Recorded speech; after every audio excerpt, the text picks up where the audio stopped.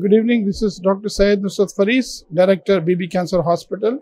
Very nice to talk about the Breast Cancer Week.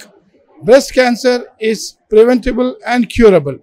First and foremost in breast cancer is a patient comes with a small lump in the breast which is small in size which keeps on becoming increase in size. The moment the patient comes with a lump in the breast, she has to contact a doctor. Number one, the breast cancer, the, treat, uh, the investigation is self-breast examination. When the girl is taking a bath, at that time she can examine the breast and find out whether the lump is there in the breast. So once the lump is breast, you have to find out that it is not going to be cancer. It can be a benign cancer, benign disease, which is known as fibroadenoma of the breast or fibroadenosis of the breast, where the patient will have a breast lump during menstruation and after menstruation, the breast lump goes. So first and foremost is self-breast examination.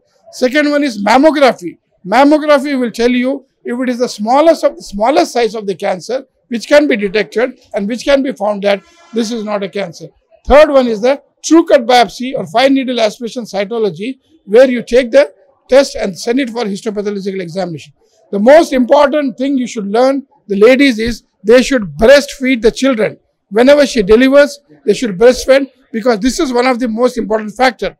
Second thing is, if the mother is suffering, the daughter has got more chances. If the auntie is suffering, the uh, niece has got more chance. Grandmother is suffering, the mother has got more chances. So it is better always, it runs in family. Whenever some family is suffering, the breast cancer, they have to do screening, which is done everywhere. So self-breast examination, mammography and biopsy is important.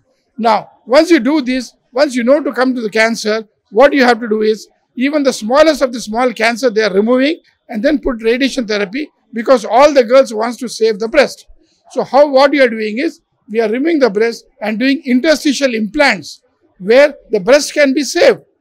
And if possible, this is in the stage 1. Even in the stage 2 and 3 and 4, they are removing the breast and putting an artificial breast prosthesis.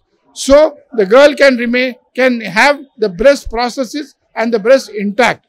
So the treatment for the breast cancer is surgery, radiotherapy and chemotherapy. We in the Bibi Cancer Hospital have got patients who have been treated for 20 to 25 years they have died of heart attack but not of breast cancer. So I would say that breast cancer is not cancer, it's a preventable disease. Thank you very much for all these people. Thank you for spreading this media. I thank one and all. Thank you very much.